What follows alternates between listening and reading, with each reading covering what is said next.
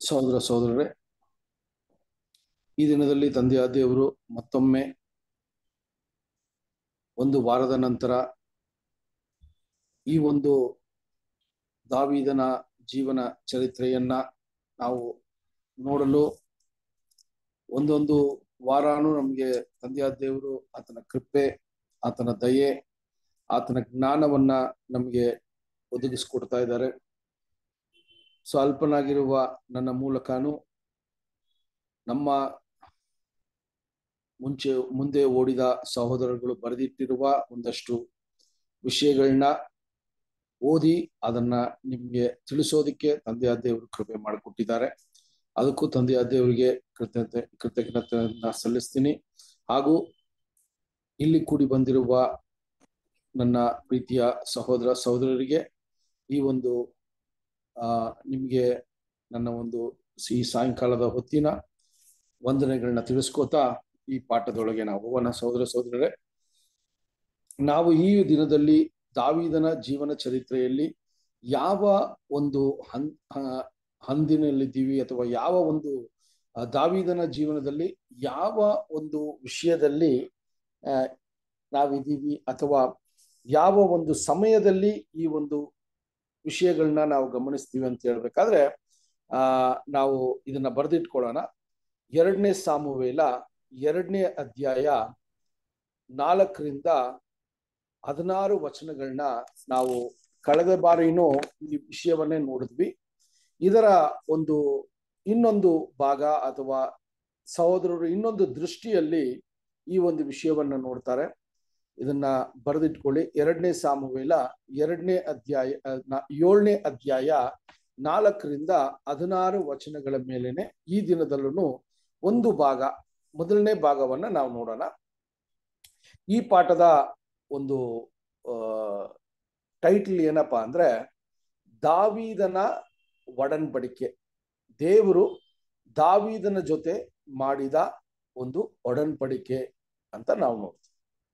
ಏನಪ್ಪ ಇದು ಅಂತ ಹೇಳ್ಬೇಕಾದ್ರೆ ಅದೇ ಎರಡನೇ ಸಾಮುವೆಲ್ಲ ಹದಿನೇಳ್ ಸಾರಿ ಏಳನೇ ಅಧ್ಯಾಯ ಹದಿನಾರನೇ ವಚನವನ್ನ ಓದೋಣ ಎರಡನೇ ಸಾಮುವೇಲ ಏಳನೇ ಅಧ್ಯಾಯ ಹದಿನಾರನೇ ವಚನವನ್ನ ಒಂದ್ಸರಿ ಓದೋಣ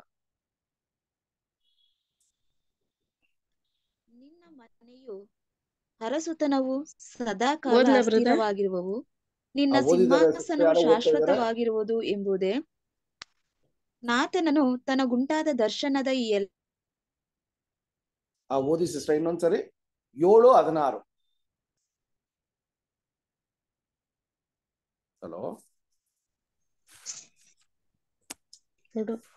ಅವರಲ್ಲಿ. ಪ್ರತಿಯೊಬ್ಬನು ಓದ್ಲ ಬ್ರದರ್ ಯಾರಾದ್ರೂ ಒಬ್ರು ಓದಿ. ಎರಡನೇ ಸಾಮುವೇಲ ಏಳನೇ ಅಧ್ಯಾಯ ಹದಿನಾರನೇ ವಚನ. ಹದಿನಾರು. ಹದಿನಾರು. ಅವರಲ್ಲಿ ಪ್ರತಿಯೊಬ್ಬನು ತನ್ನ ತನ್ನ ಎದುರಾಳಿಯ ತಲೆ ಒಡೆದು ಕತ್ತಿಯಿಂದ ಪಕ್ಕೆಯಲ್ಲಿ ತಿವಿದದರಿಂದ ಎಲ್ಲರೂ ಸತ್ತು ಬಿದ್ದರು. ಅದರಿಂದ ಗಿಬ್ಯೋನಿನಲ್ಲಿರುವ ಆ ಸ್ಥಳಕ್ಕೆ ಅದೇ ಗತಿ ಹೊಲವೆಂದು ಹೆಸರಾಯಿತು. ಎರಡನೇ ಸಾಮುವೇಲ ಏಳನೇ ಅಧ್ಯಾಯ ಹದಿನಾರನೇ ವಚನ. ಸಾರಿ ಮೂರನೇ ಅಧ್ಯಾಯ ಅಲ್ವಾ ಬ್ರದರ್? ಏಳನೇ ಅಧ್ಯಾಯ ಹದಿನಾರನೇ ವಚನ. ನಿನ್ನ ಸಿಂಹಾಸನವು ಶಾಶ್ವತವಾಗಿರುವುದು ಎಂಬುದೇ ನಾತನನು ತನಗುಂಟಾದ ದರ್ಶನದ ಎಲ್ಲ, ಈ ಎಲ್ಲಾ ಮಾತುಗಳನ್ನು ದಾವಿದನಿಗೆ ಹೇಳಿದನು. ಆ, ನೋಡ್ರಿ, ಇದೇ ಒಂದು ವಾಗ್ದಾನ ಅಥವಾ ಒಂದು ಒಡನ್ಪಡಿಕೆ ದೇವರು ದಾವಿದನ ಸಂಗಡ ಮಾಡಿದ್ದೇನೆಂದ್ರೆ, ನಿಮ್ಮ, ನಿನ್ನ ಸಿಂಹಾಸನವು ಶಾಶ್ವತವಾಗಿ ಈ ಭೂಮಿಯಲ್ಲಿ ಇರ್ತದೆ ಅಂತ ಹೇಳುವ ವಾಕ್ಯ. ಇದೇ ದಾವಿದನ ಒಂದು ಒಡನ್ಪಡಿಕೆ ಸೊ ಈ ಒಂದು ಒಡನ್ಪಡಿಕೆ ಆಧಾರದ ಮೇಲೆ ಕಳೆದ ಬಾರಿನೂ ಕಳೆದ ಕ್ಲಾಸಲ್ಲೂ ನಾವು ನೋ ಏನ್ ನೋಡಿದ್ವಿ ಅಂದ್ರೆ ದಾವಿದನಿಗೆ ದೇವರು ಮಾಡಿದ ಒಂದು ಪ್ರಾಮಿಸ್ ಏನು ಅಂತ ನೋಡಿದ್ವಿ. ಅದೇ ಒಂದು ರೀತಿಯಲ್ಲಿ ಈ ದಿನದಲ್ಲಿ ಒಡನ್ಪಡಿಕೆಯ ವಿಷಯ ಬಂದಾಗ ನಾನಾ ಕಾರ್ಯಗಳನ್ನ ನಮಗೆ ಪಾಠವಾಗಿ ಹೇಳ್ತಾರೆ ಸಹೋದರರು. ಸೊ ಈಗ ನಾವು ಎಲ್ಲಿ ಪ್ರಾರಂಭ ಮಾಡೋಣ ಅಂದ್ರೆ ದಾವಿದನು ರಾಜನಾಗಿ ಅಥವಾ ಅರಸನಾಗಿ ದೇವರು ಅವನನ್ನ ಇಸ್ರೇಲ್ ಜನಾಂಗವನ್ನ ಆಳ್ವಿಕೆ ಮಾಡೋದಿಕ್ಕೆ ಪ್ರಾರಂಭ ಮಾಡಿಸಿದ ಮೊದಲನೆಯ ಆರು ವರ್ಷ, ಹತ್ತತ್ರ ಒಂದು ಆರು ವರ್ಷ ದಾವಿದನು ಏನ್ ಮಾಡ್ತಾ ಇದ್ರು ಅಂತ ನೋಡ್ಬೇಕಾದ್ರೆ, ಸಹೋದರ ಸಹೋದರರೇ, ಅವರು ಅಲ್ಲಿ ಇರುವ ಅನೇಕ ಅನ್ಯ ಜನರನ್ನ ಅವರು ಸೋಲಿಸಿ ಆ ಇಸ್ರೇಲ್ ಪ್ರಾಂತ್ಯವನ್ನ ದೊಡ್ಡದು ಮಾಡ್ತಾನೆ ಇದ್ರು ಅಂತ ನೋಡ್ತೀವಿ. ಸೊ ಆ ರೀತಿಯ ಒಂದು ಕೆಲಸದಲ್ಲಿ ಅವರು ತೊಡಗಿರೋದು ಮಾತ್ರವಲ್ಲ, ಸಹೋದರ ಸಹೋದರರೇ, ಆತನು, ಆತನ ಒಂದು ಅರಣ್ಮನೆಯನ್ನು ಕೂಡ ಅಲ್ಲಿ ಕಟ್ಟಿದ್ರು ಅಂತ ನೋಡ್ತೀವಿ. ಪ್ಯಾಲೆಸ್ನ ಅವ್ರು ಕಟ್ಟಿದ್ರು ಅಂತ ನೋಡ್ತೀವಿ. ಇದೆಲ್ಲ ನಾವು ಕಡೆ, ಕಳೆದ ಕ್ಲಾಸ್ಗಳಲ್ಲಿ ಅನೇಕ ವಿಷಯಗಳನ್ನ ಸ್ವಲ್ಪ ಡೀಟೇಲ್ ಆಗಿ ನೋಡಿದ್ವಿ. ಇದು ಒಂದು ಸಾರಾಂಶವಾಗಿ ನೋಡ್ಕೊಂಡ್ಬರ್ತೀವಿ ಸೊ ಇಲ್ಲಿ ಇಷ್ಟೆಲ್ಲ ದಾವಿದನು ಮಾಡ್ತಾ ಇದ್ರು ದಾವಿದನಲ್ಲಿ ಒಂದು ಮುಖ್ಯವಾದ ಒಂದು ವಿಷಯ ಏನಿತ್ತು ದೇವರ ವಿಷಯದಲ್ಲಿ ಅಂತ ನೋಡಿದ್ರೆ ದೇವರನ್ನ ಗೌರವಿಸುವ ಒಂದು ವಿಷಯ, ದೇವರು ಆತನಿಗೆ ಮಾಡಿದ ಸತ್ಕಾರ್ಯಗಳನ್ನ ನೆನೆಸ್ಕೊಂಡು ಜೀವನ ಪರ್ಯಂತ ದೇವರಿಗೆ ಅವನು ವಿಧೇಯನಾಗಿನೂ ಅವನನ್ನ ಗೌರವಿಸುವ ಒಂದು ಮನಸ್ಥಿತಿ ಇರೋದ್ರಿಂದ ಸಹೋದರ ಸಹೋದರರೇ, ಅಲ್ಲಿ ಏನು ಅಂತ ನೋಡ್ತೀವಿ ಅಂದ್ರೆ ಆ ಆ ಒಂದು, ಆ, ದೇವಾಲಯವನ್ನ ಕಟ್ಟೋದಿಕ್ಕೆ ಆತನ ಪ್ರಯತ್ನಗಳು ಇತ್ತು ಅಂತ ನೋಡ್ತೀವಿ. ಯಾಕಂದ್ರೆ ನಾನು ಇಂಥ ಒಂದು ದೊಡ್ಡ ಒಂದು ಅರಮನೆಯಲ್ಲಿ ನಾನು ಇದ್ದೀನಿ, ಆದ್ರೆ ದೇವರ ಒಂದು ಪ್ರಸನ್ನತೆ ಅಥವಾ ದೇವರು ವಾಸಿಸುವ ಸ್ಥಳ ಒಂದು ಗೂಡಾರವಾಗಿದೆಯಾ ಅಲ್ಲ ಅಂತ ಹೇಳಿ ಈ ಒಂದು ಸಿನ್, ಈ ಒಂದು ವಿಷಯ ಆತನಲ್ಲಿ ಬಂದಾಗ ನಾವು ಏನಪ್ಪಾ ನೋಡ್ತೀವಿ ಅಂದ್ರೆ ಈ ಒಂದು ಚಿಂತನೆ ಅಥವಾ ಈ ಒಂದು ಮನಸ್ಸು ಆತನಲ್ಲಿ ಬಂದ ನಂತರ ಅದನ್ನ ಆತನಿಗೆ ತುಂಬಾ ಹತ್ರದಲ್ಲಿರುವ ಯಾ ಯಾರ್ರಿ, ಒಂದು ಪ್ರಾಫಿಟ್ಗೆ ಇದನ್ನ ಹೇಳ್ತಾರೆ, ಅಲ್ವಾ? ಸೊ ಅವ್ರಿಗೆ ನಾತಾನ್ ಎನ್ನುವ ಒಬ್ಬ ವ್ಯಕ್ತಿಗೆ ಈ ವಿಷಯವನ್ನ ಹೇಳಿದಾಗ ಅವರೂ ಸಹೋದರ ಸಹೋದರರೇ, ಅಲ್ಲಿ ಅದಕ್ಕೆ ಒಪ್ಪಿಗೆ ಕೊಡಿಯುವ, ಕೊಡುವಂತ ಒಂದು ವಿಷಯವನ್ನ ನಾವು ನೋಡಿದ್ವಿ. ಸೊ ಆ ಒಪ್ಪಿಗೆ ಮೇಲೆ ಅವರು ಕಟ್ಟಬೇಕು ಅಂತ ಹೇಳಿದಾಗ ಯಾವ ದಿನ ಅವರು ನಾತಾನು ಒಪ್ಪಿಗೆ ಕೊಟ್ರೋ, ಆ ದಿನ ರಾತ್ರಿ ತಂದೆಯ ದೇವರು ಆ ನಾತಾನ್ ಮೂಲಕ ಆತನ ಚಿತ್ತವನ್ನ ವ್ಯಕ್ತಪಡಿಸಿ ಅವರು ಹೇಳಿದ್ದನ್ನ ನಾವು ಅನೇಕ ವಿಷಯ ಕೇಳಿದ್ವಿ ಆಗಲಿ. ಸೊ ಹಂಗಿರುವಾಗ ಸಹೋದರ ಸಹೋದರರೇ, ಇಲ್ಲಿ ಏನು ಒಂದು ವಿಷಯವನ್ನ ನೋಡ್ತೀವಿ ಅಂದ್ರೆ, ದಾವಿದನ ಒಂದು ಉದ್ದೇಶಗಳು ಸರಿಯಾಗಿ ಇತ್ತು. ಸೊ ದೇವರ ಒಂದು ವಾಸಸ್ಥಳ, ಒಂದು ಒಳ್ಳೆ ರೀತಿಯ ಎಲ್ರೂ ಅದನ್ನ ಮೆಚ್ಚಿಸುವ ಒಂದು ರೀತಿಯಲ್ಲಿ ಆ ಒಂದು ದೇವಾಲಯ ಇರಬೇಕು ಅನ್ನುವ ಒಂದು ಒಳ್ಳೆ ಭಾವನೆ ಆತನಲ್ಲಿತ್ತು.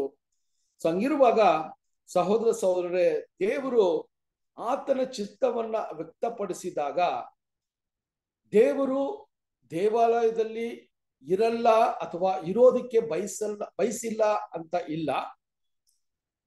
ಅಥವಾ ಗೂಡಾರದಲ್ಲಿ ದೇವರ ಪ್ರಸನ್ನತೆ ಇಲ್ಲ ಅಂತ ಇಲ್ಲ. ಆದರೆ ಸಹೋದರ ಸಹೋದರರೇ ತಂದೆಯ ದೇವರ ಚಿತ್ತದ ಪ್ರಕಾರ ಯಾವ ಸಮಯದಲ್ಲಿ ಈ ಒಂದು ದೇವಾಲಯ ನಿರ್ಮಾಣವಾಗಬೇಕು ಅಂತ ದೇವರಿಗೆ ಒಂದು ಪ್ಲಾನ್ ಇತ್ತು, ಆತನ ಒಂದು ಸಂಕಲ್ಪ ಇತ್ತು. ಆ ಸಮಯಕ್ಕೋಸ್ಕರ ತಂದೆಯ ದೇವರು ನಡೆಸ್ತಾ ಬಂದ್ರು ಅಂತ ನೋಡ್ತೀವಿ. ಅದರಿಂದಾನೇ ತಂದೆಯ ದೇವರು ಅಲ್ಲಿ ಆತನ ಚಿತ್ತವನ್ನ ವ್ಯಕ್ತಪಡಿಸುವಾಗ ಹೇಳ್ತಾರೆ, ದಾವಿದನ ದಾವಿದನ ನಂತರ ಬರುವಂತ ರಾಜನಿಗೆ ಈ ಕೆಲಸವನ್ನ ವಹಿಸ್ತೀನಿ ಅಂತೇಳಿ ರಾ ದಾವಿದನ ಮಗನಿಗೆ ಈ ಕೆಲಸವನ್ನ ಆತನ ಒಂದು ಚಿತ್ತದ ಪ್ರಕಾರ ನಡೆಸಬೇಕು ಅಂತ ದೇವರು ಸಂಕಲ್ಪ ಮಾಡಿದ್ರು ಅಂತ ನೋಡ್ತೀವಿ.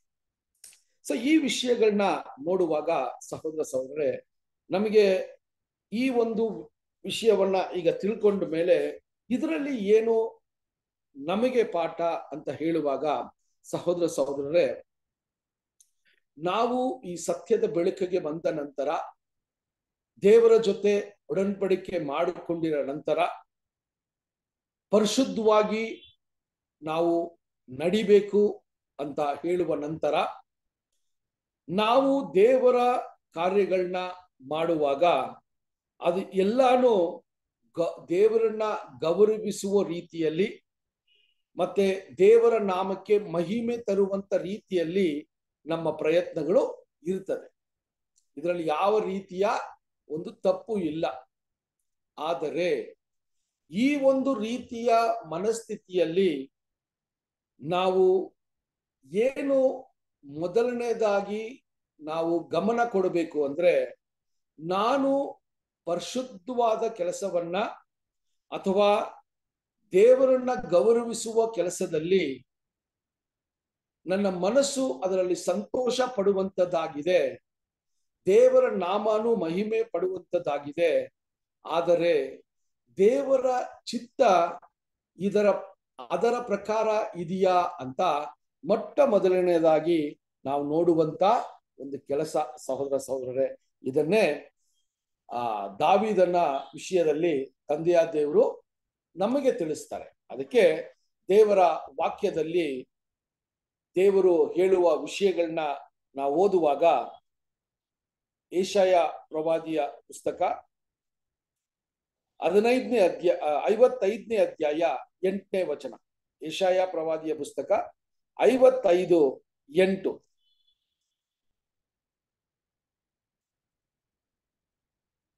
ಯಾರಾದ್ರೂ ಒಬ್ರು ಓದನ ಹಾ ಬ್ರದರ್ ಎಂಟಲ್ವಾ ಯೆಹೋವನಿಗೆನ್ನುತ್ತಾನೆ ನನ್ನ ಆಲೋಚನೆಗಳು ನಿಮ್ಮ ಆಲೋಚನೆಗಳಲ್ಲ. ನಿಮ್ಮ ಮಾರ್ಗಗಳು ನನ್ನ ಮಾರ್ಗಗಳಲ್ಲ. ಭೂಮಿಯ ಮೇಲೆ ಆಕಾಶವು ಎಷ್ಟು ಉನ್ನತವೋ, ನಿಮ್ಮ ಮಾರ್ಗಗಳಿಗಿಂತ ನನ್ನ ಮಾರ್ಗಗಳು, ನಿಮ್ಮ ಆಲೋಚನೆಗಳಿಗಿಂತ ನನ್ನ ಆಲೋಚನೆಗಳು ಅಷ್ಟೇ ಉನ್ನತವಾಗಿವೆ.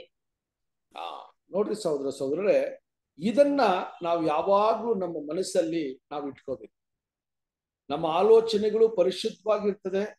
ನಮ್ಮ ಆಲೋಚನೆಗಳು ದೇವರನ್ನ ಗೌರಿಸುವ ಒಂದು ರೀತಿಯಲ್ಲಿ ಇರ್ತದೆ ದೇವರ ನಾಮಕ್ಕೆ ಮಹಿಮೆ ಕೊಡುವಂಥದ್ದಾಗಿರ್ತದೆ ಅಂತ ನಮ್ಮ ಆಲೋಚನೆಗಳಾಗಿರ್ತದೆ. ಆದರೆ ಆತನ ಆಲೋಚನೆಗಳು ಆ ರೀತಿಯಾಗಿ ಇಲ್ಲದೆ ಇದ್ದಾಗ ನಾವು ಏನು ಮಾಡಬೇಕು ಅಂತಾನೆ ದಾವಿದನಿಂದ ನಾವು ಕಲಿಯುವಂತ ಪಾಠ. ಒಂದು ಪ್ರಶ್ನೆಯನ್ನ ನೀವು ಯಾವಾಗ್ಲೂ ಹಾಕ್ ನೋಡಿ. ದಾವಿದನ ಒಂದು ಜೀವನದಲ್ಲಿ ದಾವಿದನ ಎಷ್ಟೋ ತಪ್ಪುಗಳನ್ನ ಮಾಡಿದ್ರು ದೇವರು ಯಾಕೆ ದಾವಿದನನ್ನ ನನ್ನ ಹೃದಯಕ್ಕೆ ಮೆಚ್ಚಿನ, ಮೆಚ್ಚ, ಮೆಚ್ಚಿಸುವ ಒಬ್ಬ ಭಕ್ತನು ಅಂತ ಹೇಳ್ತಾನೆ ಅಂತ ಸಹೋದರ ಸಹೋದರರೇ, ನೀವು ಆಲೋಚನೆ ಮಾಡಿದಾಗ ಅದಕ್ಕೆ ಒಂದಷ್ಟು ವಿಷಯಗಳನ್ನ ನಾವು ಇಲ್ಲಿ ನೋಡೋಣ. ಏನಪ್ಪಾ ಅಂತ ನೋಡ್ಬೇಕಾದ್ರೆ ಅಲ್ಲಿ ದಾವಿದನ ಒಂದು ಯೋಜನೆ, ಮತ್ತೆ ಅಲ್ಲಿ ಪ್ರವಾದಿಯಾದ ನಾತಾನಿನ ಒಂದು, ಆ, ಆಲೋಚನೆ ಎಲ್ಲಾನು ದೇವರನ್ನ ಗೌರವಿಸುವ ಒಂದು ವಿಷಯವಾಗಿತ್ತು.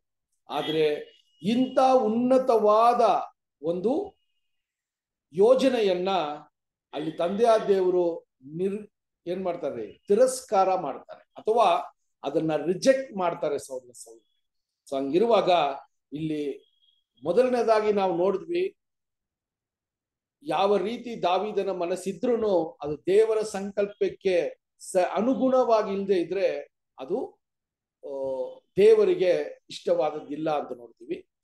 ಅದೇ ಒಂದು ವಿಷಯದಲ್ಲಿ ಎರಡನೇದು ಏನಪ್ಪಾ ನೋಡ್ತೀವಿ ಅಂದ್ರೆ, ದಾವಿದನಿಗೆ ಯಾವಾಗ ಆತನು ದೇವಾಲಯವನ್ನ ನಿರ್ಮಾಣ ಮಾಡಬಾರ್ದು ಆತನು ಯೋಜನೆ ಹಾಕೊಂಡಿರುವ ಕೆಲಸಗಳನ್ನ ಮಾಡಬಾರ್ದು ಅಂತ ಅಲ್ಲಿ ದೇವರು ನಾತಾನಿಂದ ಅದನ್ನ ಹೊರಡಿಸ್ತಾರೋ ಅದನ್ನ ಯಾವುದೇ ರೀತಿಯ ಗುಣುಗುಟ್ಟು ಇಲ್ಲದೆ ಅಥವಾ ಯಾವುದೇ ರೀತಿಯ ಒಂದು ತಪ್ಪಾದ ಭಾವನೆ ಇಲ್ಲದೆ ಅಥವಾ ದೇವರ ಮೇಲೆ ಕೋಪಿಸಿಕೊಂಡು ಅಥವಾ ದೇವರು ನನ್ನನ್ನ ಮಾಡಕ್ ಬಿಡ್ತಾ ಇಲ್ಲ ಅಂತ ಆತನನ್ನ ಆತನು ಆ ರೀತಿಯ ಬೇಜಾರು ಪಡ್ಕೊಳ್ದೆ ಅಲ್ಲಿ ದೇವರ ಚಿತ್ತಕ್ಕೆ ಅನುಗುಣವಾಗಿ ನಡೆಯೋದಿಕ್ಕೆ ಅಲ್ಲಿ ಅವನು ಹಿಂಜರಿದಿಲ್ಲ.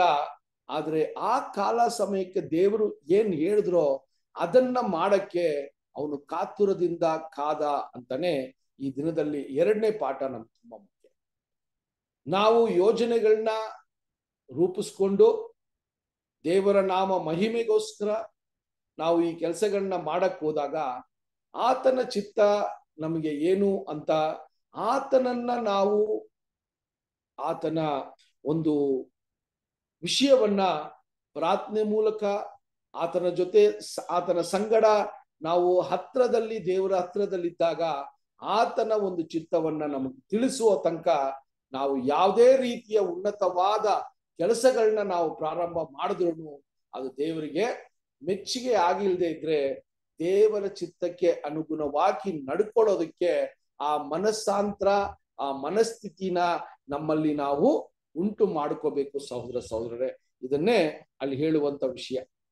ಸೊ ಈ ವಿಷಯಗಳನ್ನೇ ಅಲ್ಲಿ ಹೇಳುವಾಗ ಸಹೋದರ ಸಹೋದರರೇ, ದಾವಿದನ ಮನಸ್ಥಿತಿ ಅಥವಾ ದಾವಿದನ ಒಂದು ಮನಸ್ಸು ಈ ರೀತಿಯಾಗಿತ್ತು ದಾವೀದನ ಒಂದು ಆತ್ಮ ಈ ರೀತಿಯಾದ ಒಂದು ಆತ್ಮವಾಗಿತ್ತು. ಈ ಆತ್ಮವನ್ನ ನಾವು ಅನೇಕ ಸಹೋದರ ಸಹೋದರರು ಇದನ್ನ ನಮ್ಮ ಜೀವಿತದಲ್ಲಿ ನಾವು ಏನ್ ಮಾಡ್ಬೇಕ್ರಿ? ಇದನ್ನ ನಾವು ಕಾರ್ಯಾರೂಪಕ್ಕೆ ನಾವು ತರಬೇಕು. ಇದು ವಿಶೇಷವಾಗಿ ಒಂದು ಒಳ್ಳೆಯ ಒಂದು ತಾಲಂತು ಅಥವಾ ಟ್ಯಾಲೆಂಟ್ ಇರುವಂತ ಸಹೋದರ ಸಹೋದರರಲ್ಲಿ ಇದು ತುಂಬಾ ಹೆಚ್ಚಾಗಿ ನಾವು ಗಮನ ಕೊಡಬೇಕು. ಹಾಡುವ ಒಂದು ಟ್ಯಾಲೆಂಟ್ ಇದ್ರೆ ಅಥವಾ ದೇವರ ವಾಕ್ಯಗಳನ್ನ ಸಾರುವ ಒಂದು ದೇವರ ಒಂದು ತಾಲಂತು ದೇವರು ಕೊಟ್ಟಿದ್ರೆ ಅಥವಾ ಸಭೆಗಳಲ್ಲಿ ಸಭೆಗಳನ್ನ ನಡೆಸುವ ಒಂದು ಕೆಲಸವನ್ನ ತಂದೆಯ ದೇವರು ತಾಲಂತ ಕೊಟ್ಟಿದ್ರೆ ಇದರಲ್ಲೆಲ್ಲ ಮುಖ್ಯವಾಗಿ ನೋಡುವಂಥದ್ದು ಏನಂದ್ರೆ ನಾವು ದೇವರನ್ನ ಗೌರವಿಸಿ ದೇವರ ಚಿತ್ತವನ್ನ ಮಾಡೋದಿಕ್ಕೆ ಹೋಗ್ತಾ ಇದೀವಿ ಅಂತ ಹೇಳಿದಾಗ ಅದು ದೇವರಿಗೆ ಒಪ್ಪಿಗೆಯಾಗಿದೆಯಾ? ತಂದೆಯ ದೇವರು ಎರಡು ಮೂರು ರೀತಿಯಲ್ಲಿ ಅವರ ಬಯಕೆಯನ್ನ ನಮಗೆ ತಿಳಿಸ್ತಾರೆ. ಆದ್ರೆ ಆ ಒಂದು ಬಯಕೆಗಳನ್ನೆಲ್ಲ ನಾವು ತಿರಸ್ಕಾರ ಮಾಡಿ ನಾವು ಬೇರೆ ಮನಸ್ಥಿತಿಯಲ್ಲಿ ನಾವು ನಿರ್ಧಾರಗಳನ್ನ ತಗೊಳ್ಳುವ ಅವಕಾಶಗಳು ಅತಿ ಹೆಚ್ಚಾಗಿರ್ತದೆ ಸಹೋದರ ಸಹೋದರ. ಉದಾಹರಣೆಗೆ ನಮಗೆ ತಂದೆಯ ದೇವರು ಯಾವುದೋ ಒಂದು ಕೆಲಸಕ್ಕೆ ಮಾಡಕ್ ಹೋದಾಗ ಅದು ದೇವರೇ ಬಂದು ನಮ್ಮ ಹತ್ರ ಮಾತಾಡಲ್ಲ. ಸಹೋದರ ಸಹೋದರಿಯರ ಮೂಲಕ ಈ ವಿಷಯಗಳನ್ನ ಹೇಳುವಾಗ ನನ್ನ ಮನಸ್ಥಿತಿ ದೇವರು ಅಪೇಕ್ಷಿಸುವ ಶುದ್ಧವಾದ ಮನಸ್ಥಿತಿಯಾಗಿ ಇದೆಯಾ ಅಥವಾ ಕಲ್ಮಶದಿಂದ ತುಂಬಿಸಿ ಯಾರಾದರೂ ಹೇಳಿದಾಗ ನನ್ನ ಒಂದು ಉನ್ನತವಾದ ಸ್ಥಿತಿ ಹೋಗೋದಿಕ್ಕೆ ಇವ್ರು ನನಗೆ ಅಡ್ಡಿಯಾಗಿದ್ದಾರೆ ಅಂತ ಆ ಮನಸ್ಥಿತಿಯಲ್ಲಿ ನಾನು ಈ ನಿರ್ಧಾರಗಳನ್ನ ತಗೋತೀನ ಅಂದ್ರೂ ನಾವು ತುಂಬಾ ಕೇರ್ಫುಲ್ ಆಗಿರ್ಬೇಕು ಸಹೋದರ ಸಹೋದರರೇ. ಅದರಿಂದನೇ ಇಲ್ಲಿ ನಾವು ನೋಡುವಂತ ವಿಷಯ ಏನು ಅಂತ ನೋಡ್ಬೇಕಾದ್ರೆ, ಈ ಒಂದು ದೇವಾಲಯ ನಿರ್ಮಾಣದ ವಿಷಯದಲ್ಲಿ ನೋಡಿದಾಗ ದಾವಿದನು ಆ ದೇವಾಲಯವನ್ನ ನಿರ್ಮಾಣ ಮಾಡಬಾರ್ದು ಅಂತ ಹೇಳಿದ್ದನ್ನ ನೋಡ್ತೀವಿ. ಸೊ ನಾವು ದೇವಾಲಯಗಳನ್ನ ನಿರ್ಮಾಣ ಮಾಡುವ ಒಂದು ಸ್ಥಿತಿ ಅಥವಾ ಒಂದು ಹಂಗಿನಲ್ಲಿದ್ದೀವಿ. ಆದರೆ ಸಹೋದರ ಸಹೋದರರೇ ಈ ಲೋಕದಲ್ಲಿ ನಿರ್ಮಾಣ ಆಗಿರುವ ದೇವಾಲಯಗಳ ಬಗ್ಗೆ ಇಲ್ಲಿ ಮಾತಾಡ್ತಾ ಇಲ್ಲ. ಇಲ್ಲಿ ಆತ್ಮಿಕ ದೇವಾಲಯವನ್ನ ಉಂಟು ಮಾಡುವ ಒಂದು ಮುಖ್ಯವಾದ ಒಂದು ವಿಷಯವಾಗಿ ಇಲ್ಲಿ ಆ ದೃಷ್ಟಿಯಲ್ಲಿ ನಾವು ವಿಷಯಗಳನ್ನ ನೋಡೋಣ ಸಹೋದರ ಸಹೋದರನೇ ಸೊ ನಮಗೆ ಎಲ್ಲರಿಗೂ ನಮ್ಮ ಹೆಬ್ಬಯಕೆ ಅಥವಾ ಆಂಬಿಷನ್ ಈ ಹೆಬ್ಬಯಕೆಗಳು ಯಾವ ರೀತಿಯಲ್ಲಿ ನಮ್ಮಲ್ಲಿ ಇದೆ ಅಂತ ನೋಡ್ಬೇಕಾದ್ರೆ ದೇವರು ಈ ಒಂದು ಸುವಾರ್ತೆಯ ಯುಗದಲ್ಲಿ ಆತನ ಸಭೆಯನ್ನ ನಿರ್ಮಾಣ ಮಾಡ್ತಾ ಇದ್ದಾರೆ. ಆ ಸಭೆಯ ಒಂದೊಂದು ಕಟ್, ಕಲ್ಗಳನ್ನ ತಯಾರಿಸುವ ಒಂದು ಜವಾಬ್ದಾರಿಯನ್ನ ನಮ್ಮ ಒಬ್ಬೊಬ್ರಿಗೂ ತಂದೆಯ ದೇವರು ಕೊಟ್ಟಿದ್ದಾರೆ.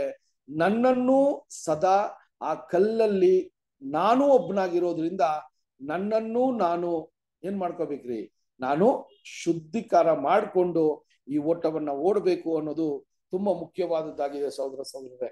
ಆ ರೀತಿಯ ಒಂದು ವಿಷಯದಲ್ಲಿ ಯಾವ ರೀತಿ ಈ ಸಭೆಯನ್ನ ತಂದೆಯ ದೇವರು ಕ್ರಿಸ್ತು ಎಸ್ ಕ್ರಿಸ್ತನ ಮೂಲಕ ನಿರ್ಮಾಣ ಮಾಡ್ತಾ ಇದ್ದಾರೋ, ಆ ನಿರ್ಮಾಣದಲ್ಲಿ, ಆ ಒಂದು ವಿಷಯದಲ್ಲಿ ನನ್ನ ಒಂದು ಭಾಗ ಏನಿದೆ ಅಂತ ನಾನು ಯಾವಾಗ್ಲೂ ನೋಡ್ಬೇಕು ಸಹೋದರ ಸಹೋದರರೇ.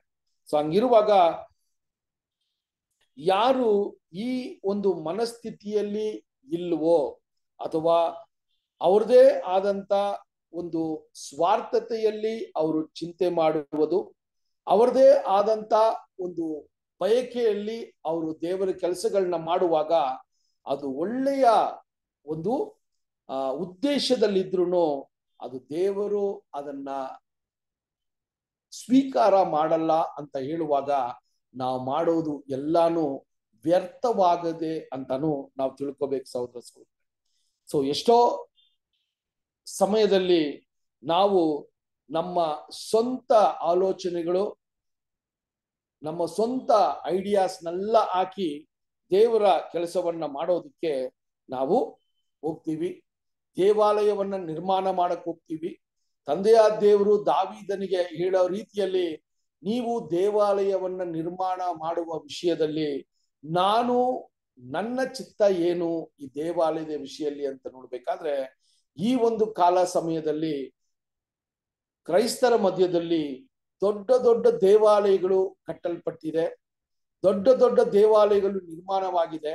ಇದೆಲ್ಲಾನು ದೇವರ ಚಿತ್ತನ ಅಂತ ನಾವು ನೋಡುವಾಗ ಇದು ದೇವರ ಚಿತ್ತವಿಲ್ಲ ಅಂತ ಆತನ ಒಂದು ಮನಸ್ಥಿತಿ ನಮಗೆ ಗೊತ್ತಿರೋದ್ರಿಂದ ಸಹೋದರ ಸಹೋದರರೇ, ಈ ಲೋಕದಲ್ಲಿ ವಿಶೇಷವಾಗಿ ಕ್ರೈಸ್ತ ಸಮುದಾಯದ ಮಧ್ಯದಲ್ಲಿ ಎಷ್ಟ್ ಎಂತ ಒಂದು ದೇವಾಲಯಗಳ ನಿರ್ಮಾಣವಾಗಿದೆ ಅಂತ ನೋಡ್ಬೇಕಾದ್ರೆ, ರೋಮ ಕರ್ತೋಲಿಕರ ಒಂದು ದೇವಾಲಯ ನಿರ್ಮಾಣವಾಗಿರೋದನ್ನ ನೋಡ್ತೀವಿ, ಅಲ್ವಾ? ಸೊ ಚರ್ಚ್ ಆಫ್ ಇಂಗ್ಲೆಂಡ್ ಅನ್ನುವ ಒಂದು ದೇವಾಲಯ ಎಷ್ಟು ದೊಡ್ಡದಾಗಿ ಈ ಸ್ಥಾಪನೆ ಆಗಿದೆ ಅಂತ ನೋಡ್ತೀವಿ. ಅದು ಮಾತ್ರವಲ್ಲ, ರೂತ್ರನ್ ದೇವಾಲಯ ಅಂದ್ರೆ ಒಂದೊಂದು ಪಂಗಡದವರು ಅವರ ದೇವಾಲಯಗಳನ್ನ ಏನ್ರಿ ದೊಡ್ಡದು ಮಾಡ್ಕೊಂಡ್ರು ವಿನಃ ದೇವರ ಸಂಕಲ್ಪ ಇದಾಗಿದೆಯಾ ಅಂತ ಅವರು ಯಾವ ರೀತಿಯ ಆಲೋಚನೆಯನ್ನು ಅವ್ರು ಮಾಡಕ್ಕೆ ಅವ್ರು ಮುಂದೆ ಹೋಗಿಲ್ಲ ಅಂತ ನೋಡ್ತೀವಿ.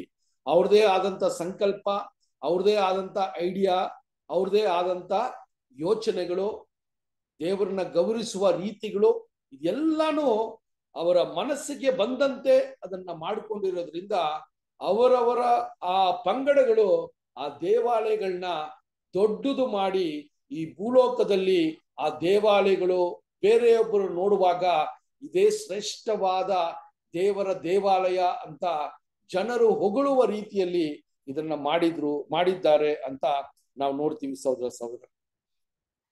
ಸೊ ಆ ರೀತಿಯ ವಿಚಾರಗಳನ್ನ ನೋಡುವಾಗ ದಾವಿದನ ಜೀವನದಲ್ಲಿ ದಾವೀದನು ಈ ದೇವಾಲಯನ್ನ ಕಟ್ಟೋದಿಕ್ಕೆ ಅವನು ಯೋಜನೆ ಮಾಡಿದಾಗ ತಂದೆಯ ದೇವರು ಹೇಳ್ತಾರೆ, ಇದು ದೇವಾಲಯವನ್ನ ಕಟ್ಟುವ ಸಮಯ ಅಲ್ಲ ಅಂತ ದಾವಿದನಿಗೆ ತಿಳಿಸ್ತಾರೆ ಸಹೋದರ ಸಹೋದರರೇ. ಸೊ ಅದೇ ರೀತಿಯಲ್ಲಿ ನಾವು ಈ ಒಂದು ಕಾಲ ಸಮಯದಲ್ಲಿ ದೇವಾಲಯವನ್ನ ಕಟ್ಟುವ ಒಂದು ಕೆಲಸದಲ್ಲಿ ನಾವು ಇದೀವ ಅಂದ್ರೆ ಸಹೋದರ ಸಹೋದರರೇ, ಈ ಆಚೆ ತೋರ್ವಿಕೆಗೆ ದೊಡ್ಡ ದೇವಾಲಯಗಳನ್ನ ಕಟ್ಟಬೇಕು ಅಂತ ದೇವರು ನಮ್ಗೆ ಆಜ್ಞೆ ಕೊಟ್ಟಿಲ್ಲ. ಆದ್ರೆ ದೇವರ ದೇವಾಲಯವಾಗಿ ನಾವು ಒಬ್ಬೊಬ್ಬರನ್ನು ಮಾರ್ಪಡೆ ಆಗೋದಿಕ್ಕೆ ತಂದೆಯ ದೇವರು ಈ ಒಂದು ಸಮಯವನ್ನ ನಮಗೆ ಕೊಟ್ಟಿದ್ದಾರೆ ಅಂತ ನೋಡ್ತೀವಿ. ಈ ಸಮಯದಲ್ಲಿ ಯಾವ ರೀತಿ ದಾವಿದನು ಆತನ ಆಲೋಚನೆಗಳು ಅಲ್ಲಿ ದೇವರ ಚಿತ್ತದ ಪ್ರಕಾರ ಇಲ್ಲ ಅಂತ ಅವನಿಗೆ ಗೊತ್ತಾಗಿದ ತಕ್ಷಣ ದೇವರ ಚಿತ್ತದ ಪ್ರಕಾರ ನಡ್ಕೊಳ್ಳೋಕ್ಕೆ ಅವನು ಇನ್ನ ಹುಮ್ಮಸ್ಸಿನಿಂದ ಆ ದೇವಾಲಯಕ್ಕೆ ಬೇಕಾಗಿರುವ ವಸ್ತುಗಳನ್ನ ಆತನ್ನು ರೆಡಿ ಮಾಡ್ದ ಅಂತ ನಾವು ಗಮನಕ್ಕೆ ನಾವು ತಂದ್ಕೋಬೇಕು ಸಹೋದರ ಸಹೋದರರೇ. ಸೊ ಅದರಿಂದ ಈ ವಿಷಯಗಳನ್ನ ನೋಡ್ಬೇಕಾದ್ರೆ ಈ ದೇವಾಲಯವನ್ನ ಕಟ್ಟುವ ಒಂದು ವಿಷಯದಲ್ಲಿ ನಾವು ಏನು ನೋಡ್ತೀವಿ ಅಂದ್ರೆ ದಾವಿದನು ಆತನಿಗಿದ್ದ ಒಂದು ಒಳ್ಳೆಯ ಮನಸ್ಥಿತಿಯಲ್ಲಿ ದೇವಾಲಯವನ್ನ ಕಟ್ಟೋಕೆ ಹೋದಾಗ ಆ ಒಂದು ಮನಸ್ಥಿತಿನ ತಂದೆಯ ದೇವರು ಮೆಚ್ಚಿಸಿ ಅವನಿಗೆ ಇನ್ನ ಒಂದಷ್ಟು ಕೆಲಸಗಳನ್ನ ಆತನಿಗೆ ಒಪ್ಪಿಸ್ತಾರೆ. ಆ ದೇವಾಲಯದ ನಿರ್ಮಾಣವಾಗೋದಿಕ್ಕೆ ಬೇಕಾಗಿರುವಂತ ವಸ್ತುಗಳನ್ನ ರೆಡಿ ಮಾಡೋದಿಕ್ಕೆ ಅಲ್ಲಿ ದೇವರು ಒಂದು ಒಂದು ಆಶ್ವಾಸನೆಯನ್ನ ಕೊಟ್ಟು ಆ ಒಂದು ದೇವಾಲಯ ಕಟ್ಟಲ್ಪಡ್ತದೆ ಅಂತ ಹೇಳುವ ವಿಷಯವಾಗಿರ್ತದೆ ಸಹೋದರ ಸಹೋದರರೇ. ಸೊ ಈ ರೀತಿಯ ಕಾರ್ಯಗಳನ್ನ ನಾವು ನೋಡುವಾಗ ಮತ್ತೆ ನಾವು ನೋಡುವಂತ ವಿಷಯ ಏನು ಅಂತ ನೋಡ್ಬೇಕಾದ್ರೆ, ಸಹೋದರ ಸಹೋದರರೇ, ಈ ಒಂದು ಕಾರ್ಯವನ್ನ ನಾವು ನೋಡುವಾಗ ನಾವು ಎಲ್ಲಾನು ನಮ್ಮ ಒಂದು ಜೀವನದಲ್ಲಿ ದೇವರು ಬರುವಂತ ದಿನಗಳಲ್ಲಿ ನೂತನ ಯೆರೂಸಲೇಮ್ ಅನ್ನುವ ದೇವಾಲಯವನ್ನ ಕಟ್ಟುವ ಒಂದು ಕೆಲಸದಲ್ಲಿ ಅಥವಾ ದೇವರ ಒಂದು ಚಿತ್ತವಾಗಿದೆ, ಆ ನೂತನ ದೇವಾಲಯವನ್ನ, ಆತ್ಮೀಕ ದೇವಾಲಯವನ್ನ ತಂದೆಯ ದೇವರು ನಿರ್ಮಾಣ ಮಾಡುವಾಗ ಆ ನಿರ್ಮಾಣಕ್ಕೆ ನಾವು ಸಿದ್ಧತೆ ಪಟ್ ಪಡಿಸಿರುವ ನಾವು ನಾವು ಮತ್ತು ನಮ್ಮ ಸಹೋದರ ಸಹೋದರರಾದ ಈ ಒಂದು ಕಲ್ಲು ಆ ಒಂದು ದೇವಾಲಯಕ್ಕೆ ಉಪಯೋಗ ಆಗುವುದಕ್ಕೆ ನಾವು ಈ ಕಾಲ ಸಮಯದಲ್ಲಿ ನಮ್ಮ ಸಮಯಗಳನ್ನ ಅಲ್ಲಿ ಅದು, ಅದನ್ನ ನಾವು ಬಳಸ್ಕೋಬೇಕು ಸಹೋದರ ಸಹೋದರರೇ. ಈ ಕಾರ್ಯಗಳನ್ನ ನೋಡುವಾಗ ಸಹೋದರ ಸಹೋದರರೇ ವಿಷಯಗಳನ್ನ ನೋಡುವಾಗ ದಾವಿದನು ಅದಕ್ಕೋಸ್ಕರನೇ ಅಲ್ಲಿ ದೇವರ ಒಂದು ವಿಷಯದಲ್ಲಿ ನೋಡುವಾಗ ನನಗೆ ಅಚ್ಚುಮೆಚ್ಚಿನ ಒಬ್ಬ ಭಕ್ತನು ಅಂತ ಹೇಳುವಾಗ ದಾವಿದನ ಮನಸ್ಥಿತಿನೇ ಅದಕ್ಕೆ ದೊಡ್ಡ ಒಂದು ಉದಾಹರಣೆಯಾಗಿದೆ ಅಂತ ನೋಡ್ತೀವಿ ಸೌರ ಸಹೋದರ ಅದರಿಂದ ಈ ಒಂದು ವಿಷಯಗಳನ್ನ ನೋಡುವಾಗ ದಾವಿದ ದೇವರ ಒಂದು ಉದ್ದೇಶ ಏನು? ದೇವರು ಏನಕ್ಕೋಸ್ಕರ ನನ್ನನ್ನು ಈ ಸತ್ಯಕ್ಕೆ ಕರೆದಿದ್ದಾರೆ? ದೇವರು ಈ ಸತ್ಯಕ್ಕೆ ನನ್ನ ಕರೆದ ಮೇಲೆ ಈ ಒಂದು ಪವಿತ್ರವಾದ ಸತ್ಯವನ್ನ ಪಡ್ಕೊಂಡ ಮೇ ನಂತರ ಈ ಸುವಾರ್ತೆ ಯುಗದಲ್ಲಿ ನನ್ನ ಕೆಲಸ ಏನು? ನನ್ನ ಮನಸ್ಸಿಗೆ ಬಂದಂತೆ ನನ್ನ ಸಂತೋಷದ ಪ್ರಕಾರ ಕೆಲಸಗಳನ್ನ ಮಾಡದೆ ಸದಾ ದೇವರ ಹತ್ರ ನಾವು ಏನ್ ಬೇಡ್ಕೋಬೇಕಂದ್ರೆ ತಂದೆಯ ದೇವರೇ, ನಿಮ್ಮ ಚಿತ್ತವನ್ನ ನನಗೆ ನೀವು ತಿಳಿಸು, ನೀವು ತಿಳಿಪಡಿಸ್ರಿ. ನಾನು ಅದರ ಪ್ರಕಾರ ನಡೆಯೋದಿಕ್ಕೆ ನನ್ನನ್ನು ನಾನು ತ್ಯಜಿಸ್ಕೊಂಡು ನಾನು ನಡೀತೀನಿ ಅಂತ ಹೇಳುವ ವಿಷಯವನ್ನ ನಾವು ನೋಡ್ಬೇಕಾಗಿದೆ ಸಹೋದರ ಸೊ ಇನ್ನೊಂದು ಮುಖ್ಯವಾದ ಒಂದು ವಿಷಯ ಏನು ಅಂತ ನೋಡ್ಬೇಕಾದ್ರೆ ದಾವಿದನು ಯಾವ ರೀತಿ ಒಂದು ಯುದ್ಧದ ಒಂದು ಮನುಷ್ಯನಾಗಿ ಅವನ ಜೀವನದಲ್ಲಿ ಅತಿ ಹೆಚ್ಚಾದ ಸಮಯವನ್ನ ಅವನಿಗೆ ವಿರುದ್ಧವಾಗಿ ಬಂದಿರುವ ಅನ್ಯ ಅರಸರನ್ನ ಅವರು ಅಲ್ಲಿ ಸೋಲಿಸಿ ಆ ಇಸ್ರೇಲ್ ಪ್ರಾಂತ್ಯವನ್ನ ಅವ್ರು ದೊಡ್ಡದು ಮಾಡ್ತಾನೆ ಇದ್ರು ಅಂತ ನೋಡ್ತೀವಿ. ಸೊ ದಾವಿದನು ದಾವಿದನು ಯಾವ ರೀತಿ ಅವನು ಯುದ್ಧದ ಒಬ್ಬ ವ್ಯಕ್ತಿಯಾಗಿದ್ನೋ ಆ ವ್ಯಕ್ತಿನ ದೇವಾಲಯವನ್ನ ನಿರ್ಮಾಣ ಮಾಡಕ್ಕೆ ತಂದೆಯ ದೇವರು ಆಜ್ಞೆ ಕೊಟ್ಟಿಲ್ಲ. ಅದೇ ರೀತಿಯಲ್ಲಿ ಸಹೋದರ ಸಹೋದರರೇ ನಾವು ಈ ಒಂದು ಕಾಲ ಸಮಯದಲ್ಲಿ ದಾವಿದನ ತರ ನಾವು ಯುದ್ಧದ ಸೈನಿಕರಾಗಿದ್ದೀವಿ ಅಂತ ನಾವು ಫಸ್ಟ್ ಅಂಡರ್ಸ್ಟ್ಯಾಂಡ್ ಮಾಡ್ಕೋಬೇಕು ಸಹೋದರ ಸಹೋದರ.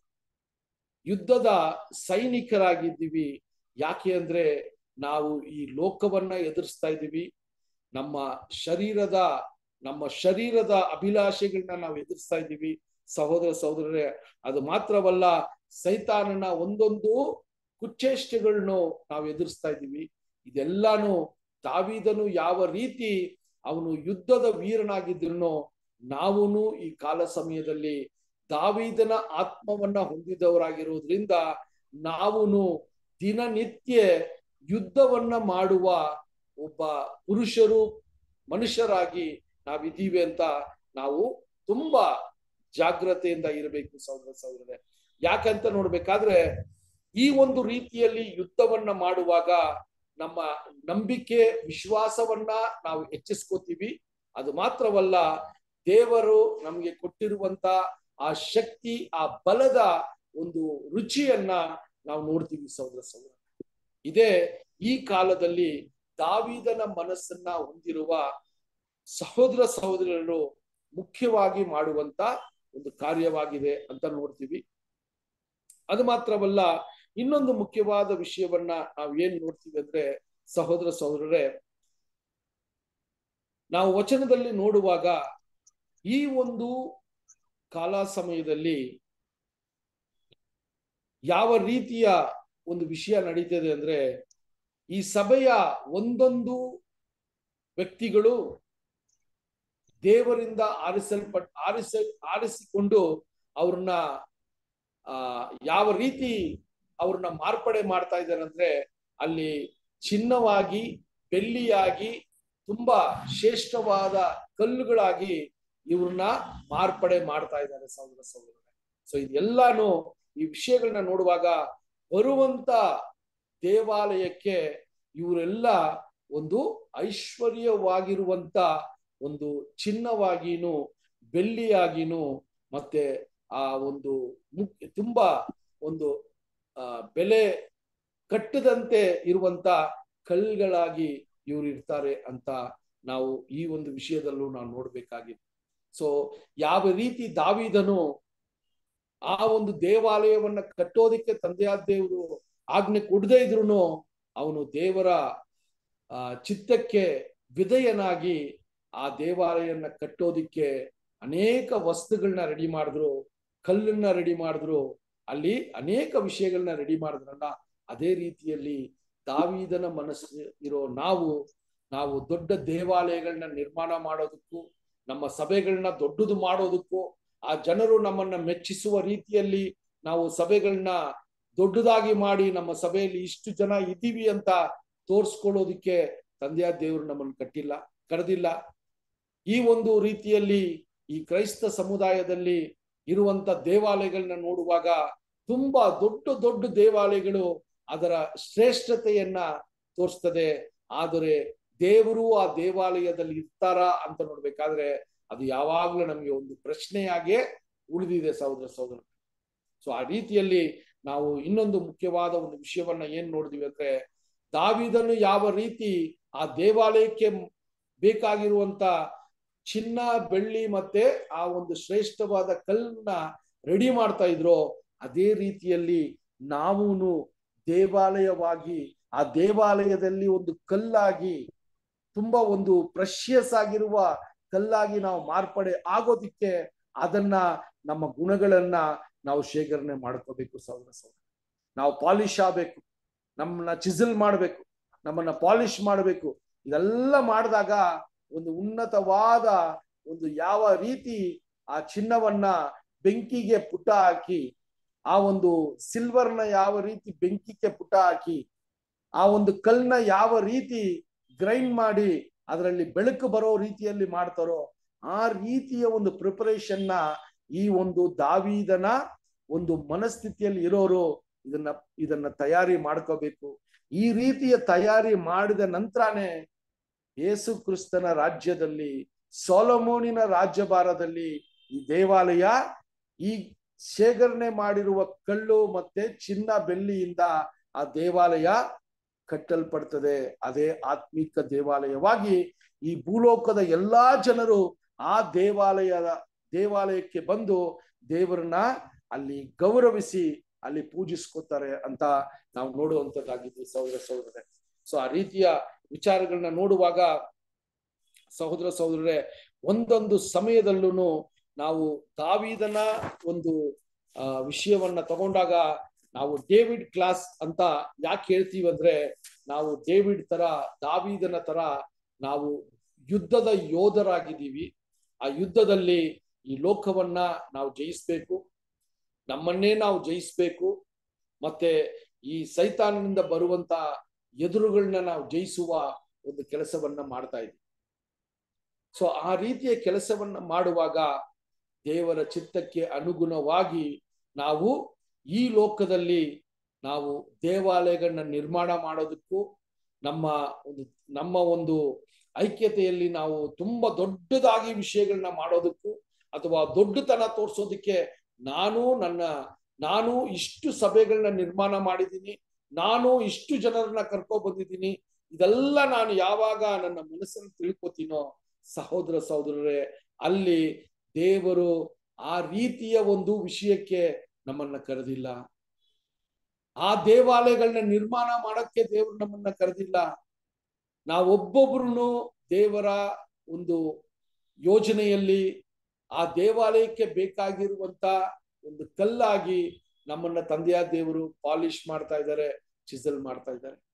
ಅದು ಸ, ಏನ್ರಿ ಸಭೆಗಳನ್ನ ನಡೆಸುವ ದೊಡ್ಡ ಸಹೋದರರಾಗಿರ್ಲಿ, ಸಹೋದ ಸಭೆಗಳಲ್ಲಿ ಕೆಲಸವನ್ನ ಮಾಡುವಂತ ಸಹೋದರ ಸಹೋದರರಾಗಿರ್ಲಿ ಎಲ್ಲರ ಗಮನವು ಅವರು ಯಾವ ರೀತಿ ಆ ದೇವಾಲಯಕ್ಕೆ ಬೇಕಾಗಿರುವಂತ, ತಂದೆಯ ದೇವರು ಸಿದ್ಧತೆ ಮಾಡುವಂತ ಆ ಕೆಲಸದಲ್ಲಿ ಅವರು ಯಾವ ರೀತಿ ತಂದೆಯ ದೇವರಿಗೆ ಸಮರ್ಪಣೆ ಮಾಡಿ ಅವರ ಚಿತ್ತಕ್ಕೆ ಅನುಗುಣವಾಗಿ ನಮ್ಮನ್ನ ಚಿಸಲ್ ಮಾಡ್ತಾರೆ ಅನ್ನುವ ಒಂದೇ ಒಂದು ಕಾರ್ಯದ ಮೇಲೆ ನಮ್ಮ ಗಮನ ಇರಬೇಕು ಸಹೋದರ ಸಹೋದರನೇ ಸೊ, ಅದರಿಂದ ಲೋಕದಲ್ಲಿ ನಾವು ನೋಡ್ದಂಗೆ ಅನೇಕ ದೇವಾಲಯಗಳು, ಅಲ್ವಾ? ರೋಮ ಕತ್ತೋಲಿಕರ ಒಂದು ದೇವಾಲಯವನ್ನು ನೋಡುವಾಗ, ಅದೇ ತರ ಲೂಥರನ್ ಸಭೆಗಳನ್ನ ನೋಡುವಾಗ, ಪ್ರಾಟೆಸ್ಟೆಂಟ್ ಸಭೆಗಳನ್ನ ನೋಡುವಾಗ, ಸಿ ಎಸ್ ಐ ಸಭೆಗಳನ್ನ ನೋಡುವಾಗ ಇವರೆಲ್ಲಾನು ದೊಡ್ಡ ದೊಡ್ಡ ದೇವಾಲಯಗಳನ್ನ ನಿರ್ಮಾಣ ಮಾಡಿದ್ರು.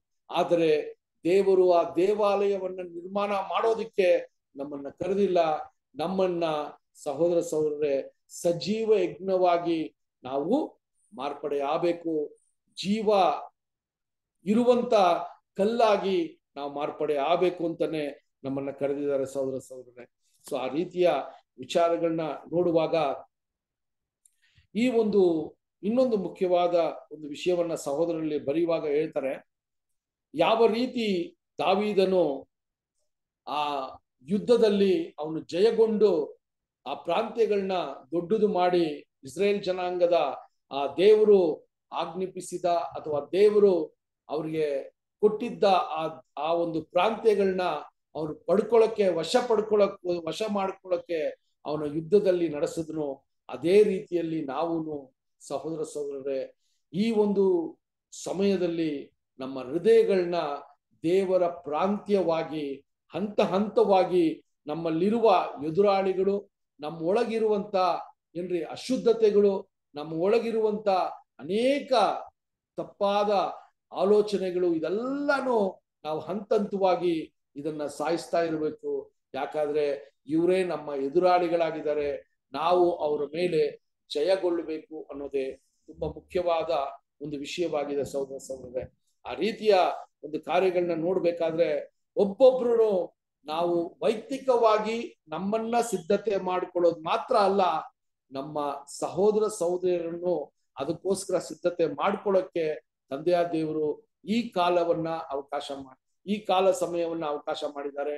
ಸೊ ಅದರಿಂದ ಬರುವಂತ ಯುಗದಲ್ಲಿ ಆ ಒಂದು ದೇವಾಲಯ ನಿರ್ಮಾಣ ಆಗ್ಬೇಕಾದ್ರೆ ಈ ಕಲ್ಲು ಅಥವಾ ಈ ಒಂದು ಕಲ್ಲು ಒಂದೊಂದು ಕಲ್ಲುನು ಅದಕ್ಕೆ ಏನಾಗಿರ್ಬೇಕು ರೀ? ದೇವರ ಚಿತ್ತಕ್ಕೆ ಅನುಗುಣವಾಗಿ ದೇವರು ಯಾವ ಶೇಪಲ್ಲಿ ಈ ಕಲ್ಲನ್ನ ತಯಾರಿಸ್ಬೇಕು ಅಂತ ಚಿತ್ತ ಇದೆಯೋ ಆ ಶೇಪಿಗೆ ನಾವು ಚೇಂಜ್ ಆದ್ರೆ ಮಾತ್ರ ದೇವರ ದೇವಾಲಯದಲ್ಲಿ ನಾವು ನಿರ್ಮಾಣವಾಗಿರ್ತೀವಿ ಸಹೋದರ ಸಹೋದರರೇ. ಈ ವಿಷಯಗಳನ್ನ ನಾವು ಸ್ವಲ್ಪ ಕುಲಂಕುಷವಾಗಿ ನಮ್ಮ ಜೀವನದಲ್ಲಿ ಯೋಚನೆ ಆ ರೀತಿಯ ಒಂದು ವಿಷಯಗಳನ್ನ ನೋಡುವಾಗ ಆ ದೇವರ ಒಂದು ರಾಜ್ಯವು ಈ ಭೂಲೋಕದಲ್ಲಿ ಸ್ಥಾಪನೆ ಆಗ್ಬೇಕಾದಾಗ ಆ ಒಂದು ಆತ್ಮಿಕ ದೇವಾಲಯ ಅಥವಾ ತಂದೆಯ ದೇವರ ಆ ರಾಜ್ಯದಲ್ಲಿ ಕ್ರಿಸ್ತನ ರಾಜ್ಯವಾಗಿ ಅದು ಮಾರ್ಪಡೆ ಆಗುವಾಗ ಅದು ಯಾವಾಗ ಅಂದ್ರೆ ಯಾವ ರೀತಿ ದಾವಿದನಿಂದ ಸೋಲಮೂನನು ಆ ಒಂದು ರಾಜ್ಯಭಾರವನ್ನ ಮಾಡಿದ್ನಲ್ಲ, ಆ ರೀತಿ ನಾವು ದಾವಿದನಾಗಿ, ನಾವು ಒಂದು ಒಳ್ಳೆ ಯೋಧನಾಗಿ ಆ ದೇವಾಲಯಕ್ಕೆ ಬೇಕಾಗಿರುವ ಎಲ್ಲಾ ವಸ್ತುಗಳನ್ನ ತಯಾರಿ ಮಾಡಿಕೊಂಡು ನಾನು ಸತ್ತ ನಂತರ ಸೋಲಮೂನಿನ ತರ ದೇವಾಲಯವನ್ನ ನಿರ್ಮಾಣ ಮಾಡೋದು ಯಾವುದಕ್ಕೆ ಸೂಚಕವಾಗಿದೆ ಅಂದ್ರೆ ನನ್ನ ಒಂದು ಪುನರುತ್ಥಾನ ರೆಸರಕ್ಷನ್ ಆ ಪುನರುತ್ಥಾನದಲ್ಲಿ ದೇವರ ದೇವಾಲಯವಾಗಿ ನಾನು ಮಾರ್ಪಡೆ ಆಗೋದಕ್ಕೆ ತಂದೆಯ ದೇವರು ನಮ್ಗೆ ಕೃಪೆ ಮಾಡಿದ್ದಾರೆ ಸಹೋದರ ಸೌಂದರ್ಯ ಸೊ ಅದರಿಂದ ಈ ಒಂದು ಸುವಾರ್ತೆಯ ಯುಗದಲ್ಲಿ ನಾವು ದೇವರ ಚಿತ್ತಕ್ಕೆ ಅನುಗುಣವಾಗಿ ನಾವು ನಮ್ಮ ಒಂದು ಆಲೋಚನೆಗಳು ನಮಗೆ ಸಂತೋಷ ಕೊಡುವಂಥದ್ದು ಅಥವಾ ನಾವು ದೇವರನ್ನ ಗೌರವಿಸುವ ರೀತಿಗಳು ಹಿಂಗೇ ಇರಬೇಕು ಅಂತ ನಾನು ಪ್ಲಾನ್ ಮಾಡಿ ಮಾಡಿದಾಗ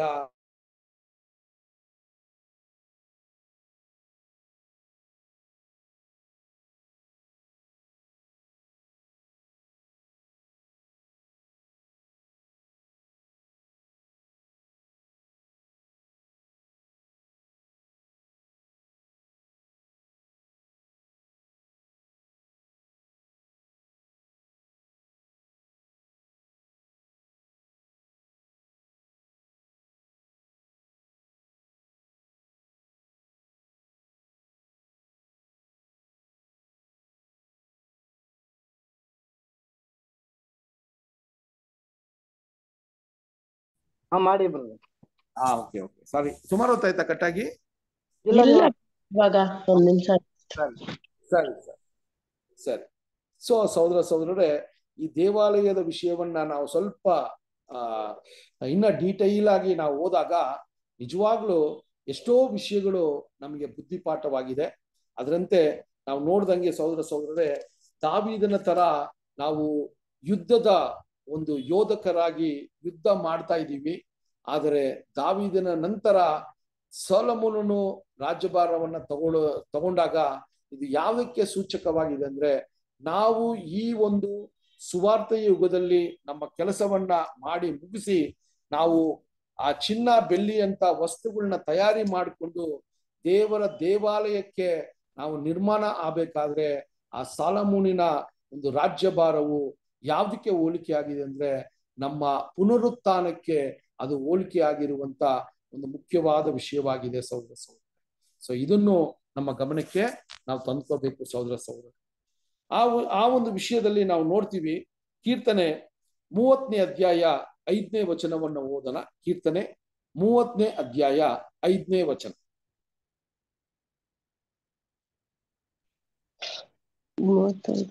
ಆತನ ಕೋಪವು ಕ್ಷಣ ಮಾತ್ರವೇ. ಆತನ ಅನುಗ್ರಹವು ಜೀವಮಾನವೆಲ್ಲ ಇರುವುದು. ಸಂಜೆಗೆ ದುಃಖವೆಂಬುದು ಬಂದು ನಮ್ಮ ಬಳಿಯಲ್ಲಿ ಇಳುಕೊಂಡರೂ ಮುಂಜಾನೆ ಆರ್ಷಾದನೆ ಕೇಳಿಸುವುದು. ನೋಡ್ರಿ, ಸಂಜೆ, ಸಂಜೆಯು ದುಃಖವಾಗಿದ್ರು ಮುಂಜಾನೆಯು ಏನಾಗಿರ್ತದಂತೆ?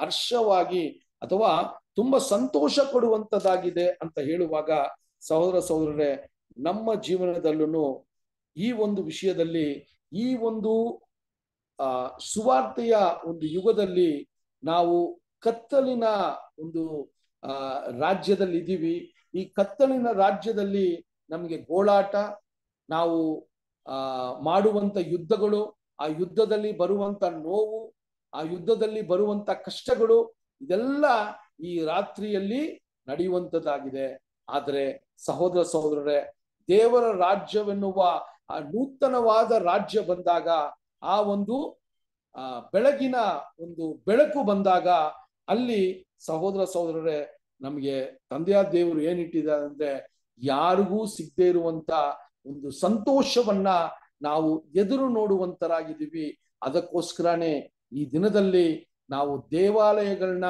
ಅಥವಾ ಮನುಷ್ಯರು ನೋಡುವಂತ ರೀತಿಯಲ್ಲಿ ನಾವು ದೇವರ ಕೆಲಸವನ್ನ ಮಾಡಲ್ಲ. ದೇವರ ದೃಷ್ಟಿಯಲ್ಲಿ ನಮ್ಮ ಕೆಲಸಗಳು ತುಂಬಾ ಮುಖ್ಯವಾಗಿದೆ ಅಂತ ಹೇಳಿ ಅದಕ್ಕೆ ಭಯದಿಂದಾನು ನಾನು ನಡುಕದಿಂದಾನು ನನ್ನ ರಕ್ಷಣೆಯನ್ನ ನಾನು ಅಲ್ಲಿ ಏನ್ ಮಾಡ್ತೀನಿ ರೂಪಿಸ್ಕೋತಾ ಇದ್ದೀನಿ ಅನ್ನೋದನ್ನ ನಾವು ನೋಡ್ಕೋಬೇಕು ಸಹೋದರ ಸಹೋದರರೇ. ಈ ರೀತಿಯ ಒಂದು ಸಂಕಷ್ಟ ಸಮಯಗಳಲ್ಲಿ, ಆ ಕತ್ತಲೆಯ ಸಮಯದಲ್ಲಿ, ಆ ಒಂದು ಯುದ್ಧದ ಸಮಯದಲ್ಲಿ ನಮ್ಗೆ ಗೋಳಾಟ ಇದೆ. ಆದರೆ ಒಂದು ವಿಶೇಷವಾದ ಒಂದು ಆಶೀರ್ವಾದ ಏನು ಅಂದ್ರೆ ದೇವರು ನಮ್ಮ ಸಂಗಡ ಈ ಕತ್ತಲೆಯ ಸಮಯಗಳಲ್ಲಿ ನಮ್ಮನ್ನ ಸಿದ್ಧಪಡಿಸ್ತಾ ಇದ್ದಾರೆ, ನಮ್ಮನ್ನ ಚಿನ್ನದ ಹಾಗೆ ಬೆಂಕಿಗೆ ಪುಟ ಹಾಕ್ತಾ ಇದ್ದಾರೆ, ನಮ್ಮನ್ನ ಬೆಳ್ಳಿಯ ರೀತಿಯಲ್ಲಿ ರೆಡಿ ಮಾಡ್ತಾ ಇದ್ದಾರೆ ಅಂತ ನಮಗೆ ಒಂದು ಧೈರ್ಯ ಇರಬೇಕು. ಇದನ್ನೇ ನಾವು ಇನ್ನೊಂದು ವಚನ ಓದನ ಕೀರ್ತನೆ ನಲವತ್ತಾರನೇ ಅಧ್ಯಾಯ ಐದನೇ ವಚನ. ಕೀರ್ತನೆ ನಲವತ್ತಾರನೇ ಅಧ್ಯಾಯ ಐದನೇ ವಚನ. ದೇವರು ಇದ್ದಾನೆ ಇದಕ್ಕೆ ಚಲನವೇ ಇಲ್ಲ. ಉದಯ ಕಾಲದಲ್ಲಿ ದೇವರು ಇದರ ಸಹಾಯಕ್ಕೆ ಬರುವನು. ಆ ನೋಡ್ರಿ ಅಲ್ಲಿ ಹೇಳ್ತಾರೆ ದೇವರು ದೇವರು ಆತನ ಸಂಗಡ ಇದ್ದಾರೆ ಅಂತ ಹೇಳ್ತಾರೆ. ಇದು ಸಹೋದರ ಸಹೋದರರೇ ಕ್ರಿಸ್ತನ ಮೊದಲಗಿತಿಯಾಗಿರುವಂತ ಸಭೆಯ ಸಂಗಡ ತಂದೆಯ ದೇವರು ಈ ಕತ್ತಲಿನ ಸಮಯದಲ್ಲಿ ಇದ್ದಾರೆ ಏನ್ ಮಾಡ್ತಾ ಇದ್ದಾರೆ ಅಂದ್ರೆ ಆ ದೇವಾಲಯಕ್ಕೆ ಬೇಕಾಗಿರುವಂತ ವಸ್ತುಗಳನ್ನ ನಿರ್ಮಾಣ ಮಾಡ್ತಾ ಇದ್ದಾರೆ ಅದೇ ನಾನು, ನೀವು ಅಂತ ನಾವು ನೋಡ್ಬೇಕು. ಅದು ಮಾತ್ರವಲ್ಲ, ಬೆಳಗ್ಗೆ ಸಹೋದರ ಸಹೋದರರೇ, ಆ ಆ ಒಂದು ಆಕೆಗೆ ಬೇಕಾಗಿರುವಂತ ಆಶೀರ್ವಾದವನ್ನ ಬೆಳಗ್ಗೆ ಅದಕ್ಕೆ ಒದಗಿಸ್ಕೊಡ್ತಾರೆ ಅನ್ನುವ ಒಂದು ವಿಷಯವನ್ನ ಈ ಕೀರ್ತನೆಯಲ್ಲಿ ನಾವು ಓದಿದ್ವಿ ಅದರಿಂದ ಸಹೋದರ ಸಹೋದರರೇ, ಈ ವಿಷಯಗಳನ್ನೆಲ್ಲ ನೋಡುವಾಗ ಆ ಸಭೆಯ ತಯಾರಿ ನಡೀತಾ ಇದೆ. ಅದು ಒಂದು ತಾಯಿಯ ಹೊಟ್ಟೆಯಲ್ಲಿ ಯಾವ ರೀತಿ ಮಗು ಆ ಉತ್ಪತ್ತಿ ಆಗತ್ತೋ ಆ ರೀತಿಯ ಒಂದು, ಆ ಕರು ಯಾವ ರೀತಿ ಆ ಒಂದು ಆ ಒಂದು, ಆ, ಏನಂತ ಹೇಳೋದಂದ್ರೆ ಆ ಒಂದು ಸ್ತ್ರೀಯ ಒಂದು ಹೊಟ್ಟೆಯಲ್ಲಿ ಯಾವ ರೀತಿ ಮಗು ಉತ್ಪತ್ತಿ ಆಗತ್ತೋ ಆ ರೀತಿಯ ರೀತಿಯಲ್ಲಿ ಈ ದೇವರ ರಾಜ್ಯವು ಈ ಸುವಾರ್ಥ ಯುಗದಲ್ಲಿ ಪ್ರಾರಂಭವಾಗಿದೆ. ಅದು ಹಂತ ಹಂತವಾಗಿ ದೇವರ ರಾಜ್ಯದ ಆ ಒಂದು ಸಂಪೂರ್ಣತೆಯ ಒಂದು ವಿಷಯವನ್ನ ಬಂದಾಗ ಆ ಬೆಳಗ್ಗೆ ಆ ಒಂದು ಬೆಳಕು, ಆ ಬೆಳಗಿನ ಬೆಳಕು ಈ ಲೋಕಕ್ಕೆ ದೇವಾಲಯವು ನಿರ್ಮಾಣವಾಗಿದೆ. ಆ ದೇವಾಲಯವನ್ನ ನಾವು ಸೇರಿದ್ರೆ ಸಹೋದರ ಸಹೋದರರೇ, ಈ ಲೋಕಕ್ಕೆ ಈ ದೇವಾಲಯವು ಬೆಳಕಾಗಿರ್ತದೆ. ಆ ಬೆಳಕಿನ ಮಕ್ಕಳಾಗಿ ನಾವು ಈ ಕಾಲ ಸಮಯದಲ್ಲಿ ಇರಬೇಕು ಅಂತಾನೆ ತಂದೆಯ ದೇವರು ಇಂಥ ವಿಷಯಗಳನ್ನ, ಇಂಥ ಒಂದು ವಿಸ್ಮಯವಾದ ವಿಷಯಗಳನ್ನ ನಮಗೆ ಅರ್ಥ ಮಾಡಿಸ್ತಾ ಇದ್ದಾರೆ ಸಹೋದರ ಸಹೋದರ. ಅದರಿಂದ ಈ ಈ ದಿನದಲ್ಲಿ ಅನೇಕ ಪಾಠಗಳನ್ನ ನಾವು ನೋಡಿದ್ವಿ. ದಾವಿದನ ಜೀವನದಲ್ಲಿ ಎಂತ ಮುಖ್ಯವಾದ ಒಂದು ವಿಷಯಗಳು ನಾವು ಗಮನಿಸ್ಬೇಕು. ನಮ್ಮ ಚಿತ್ತ ನಮ್ಮ ಸಂತೋಷ, ನಾವು ದೇವರನ್ನ ಗೌರವಿಸುವ ರೀತಿನೋ ಅಥವಾ ದೇವರು ಆ ಗೌರವವನ್ನ ಮೆಚ್ತಾರ ಅನ್ನೋದನ್ನು ನಾವು ನೋಡುವ ನೋಡುವ ಒಂದು ಜನರಾಗಿ ನಾವು ಇರಬೇಕು. ಅದು ಮಾತ್ರವಲ್ಲ ಸಹೋದರ ಸಹೋದರರೇ, ನಮ್ಮ ಒಂದು ವಿಷಯದಲ್ಲಿ ನಮ್ಮ ಮನಸ್ಥಿತಿಗಳು, ನಮ್ಮ ಉದ್ದೇಶಗಳು ಒಳ್ಳೇದಾಗೆ ಇರ್ತದೆ.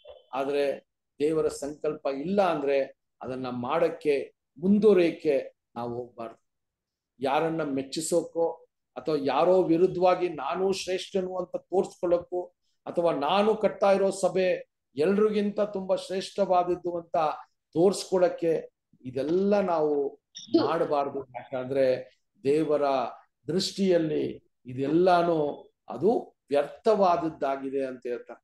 ಅದಕ್ಕೆ ದೇವರು ಇಸ್ರೇಲ್ ಜನಾಂಗವು ಅನ್ಯ ದೇವರು ದೇವತೆಗಳನ್ನ ಪೂಜಿಸುವಾಗ ಹೇಳ್ತಾರೆ ಅದು ಕೈ ಇದೆ, ಆದ್ರೆ ಏನು ಮಾಡಕ್ಕಾಗಲ್ಲ ಕಾಲಿದೆ ನಡಿಯಕ್ಕಾಗಿಲ್ಲ, ಕಿವಿ ಇದೆ, ಕೇಳಕ್ಕಾಗಲ್ಲ, ಬಾಯಿ ಇದೆ, ಮಾತಾಡಕ್ಕಾಗಲ್ಲ. ಇಂಥ ಒಂದು ದೇವರುಗಳನ್ನ ಇವರು ಪೂಜಿಸ್ತಾ ಇದ್ದಾರೆ ಇವರು ಮಾಡ್ತಾ ಇರೋದಲ್ಲ, ವ್ಯರ್ಥದ ಕೆಲಸ ಅಂತ ಇಸ್ರೇಲ್ ಜನ ಕೇಳ್ತಾರಲ್ಲ, ಅದೇ ರೀತಿಯಲ್ಲಿ ನಮಗೂ ಸಹೋದರ ಸಹೋದರರೇ, ಆತ್ಮೀಕ ರೀತಿಯಲ್ಲಿ ಈ ಒಂದು ಅದ್ಭುತವಾದ ಸತ್ಯವನ್ನ ಪಡ್ಕೊಂಡಿರೋ ನಾವು ನಮ್ಮಲ್ಲಿರುವ ಛಲ ನಮ್ಮಲ್ಲಿರುವ ಒಂದು ಹುಮ್ಮಸ್ಸಲ್ಲಿ ನಾವು ಏನೋ ಮಾಡಕ್ಕೆ ಹೊರಟಾಗ ದೇವರ ಚಿತ್ತ ಅಲ್ಲಿ ಇಲ್ಲದೆ ಇದ್ರೆ ನಾವು ಮಾಡಿದ್ದೆಲ್ಲ ವ್ಯರ್ಥವಾಗತ್ತೆ ಅನ್ನೋದನ್ನ ನಮ್ಮ ಮನಸ್ಸಿಗೆ ತಂದ್ಕೊಡೋಣ ಸಹೋದರ ಸಹೋದರರೇ, ಆ ರೀತಿಯಲ್ಲಿ ಈ ವಿಷಯಗಳನ್ನ ನೋಡುವಾಗ ಈ ಒಂದು ಕಾಲ ಸಮಯದಲ್ಲಿ ನಮ್ಮ ಕೆಲಸ ಏನು ಅಂದ್ರೆ ಆ ಸಬ್, ಆ ಒಂದು ದೇವಾಲಯಕ್ಕೆ ಬೇಕಾಗಿರುವಂತ ಕಲ್ಲನ್ನ ತಂದೆಯ ದೇವರು ರೆಡಿ ಮಾಡ್ತಾ ಇದ್ದಾರೆ. ಸೊ ನಾವು ಒಬ್ಬೊಬ್ರು ಆ ಒಂದು ಕಲ್ಲಾಗಿ ನಿರ್ಮಾಣವಾಗ್ತಾ ಇದೀವಿ ಅದರ ಮೇಲೆ ಗಮನ ಕೊಡೋಣ. ಅದರ ಮೇಲೆ ನಮ್ಮ ಒಂದು ಯೋಚನೆಯನ್ನ ನಾವು ಇಡೋಣ ಸಹೋದರ ಸಹೋದರ ಅದರಿಂದ ಈ ದಿನದಲ್ಲೂ ಈ ಪಾಠದ ಮೊದಲನೇ ಭಾಗವನ್ನ ನೋಡಿದ್ವಿ. ಬರುವಂತ ದಿನಗಳೇ ದೇವರ ಒಂದು ಚಿತ್ತ ಇದ್ರೆ ಇದರ ಎರಡನೇ ಭಾಗವನ್ನು ನಾವು ನೋಡೋಣ ನಿಧಾನಕ್ಕೆ. ಸೊ ಅನೇಕ ವಿಷಯಗಳನ್ನ ನಾವು ಕಲಿಯುವಂತದ್ದಾಗಿದೆ ಸಹೋದರ ಸಹೋದರ ದೇವರು ಈ ವಾಕ್ಯಗಳನ್ನ ಆಶೀರ್ವದಿಸ್ಲಿ. ಬರುವಂತ ದಿನಗಳಲ್ಲಿ ದೇವರ ಚಿತ್ತ ಇದ್ರೆ ಬರುವ ವಾರನು ಈ ಒಂದು ಪಾಠಗಳನ್ನ ನಾವು ಕಂಟಿನ್ಯೂ ಮಾಡೋಣ. ದೇವರು